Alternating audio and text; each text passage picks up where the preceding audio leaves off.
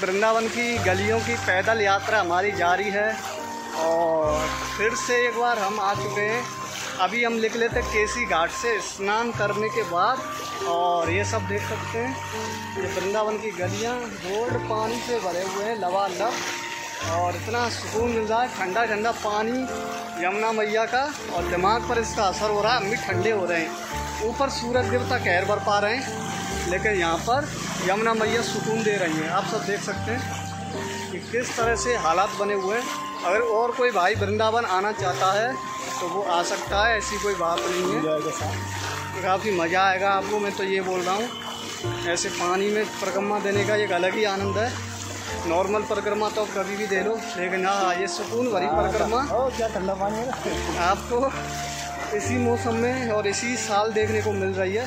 आइए, वृंदावन का पानी है, उसका आनंद लीजिए। अब मैं आपको सामने का नज़ारा दिखाता हूँ।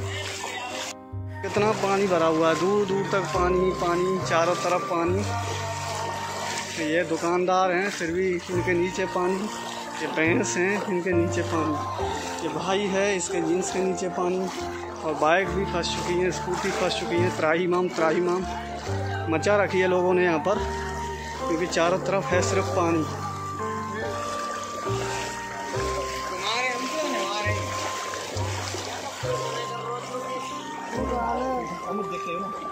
यहाँ गड्ढा है। यहाँ पर आप जब भी आएँ तो देख कर आएँ, क्योंकि आपको झटका लग सकता है यहाँ पर। देखो, यहाँ से निकल रहा है ये पानी, और सीधा का सीधा जा रहा है कॉलोनियों में। यहाँ से ट्रांसफ़र हो रहा है। तो देखिए, यमुना का पानी कहाँ से चल रहा है? वो जगह मिल चुकी है हमें। और सामने भक्तजन परिक्रमा देते हुए आनंद लेती हुई भैंस पानी का तो मैं वाटर शॉवर दे देता हूँ उसे। ओहो ये देखिए। ये भी आपको नहला रही हैं। देखिए मस्ती में भैंस बैठी हुई है चारों तरफ़। मज़ा आ रहा है वृंदावन में आके। सच्ची में दोस्तों बहुत ही ज़्यादा आनंद आ रहा है यहाँ पर। मुझे तो बहुत आ रहा है पानी। में ये तेरी मेहरबानी का कुत्ता भी आ चुका है यहाँ पर।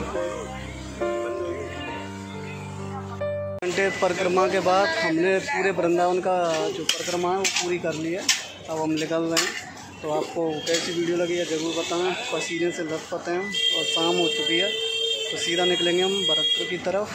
यहीं से हमने स्टार्ट की थी और यहीं से हम वापस अपने घर जा रहे हैं। तो ठीक है दोस्तों, मिलेंगे हम आपको एक नई जगह, नई लोकेशन पर। तब तक के लिए ख्याल रखें। जय श्री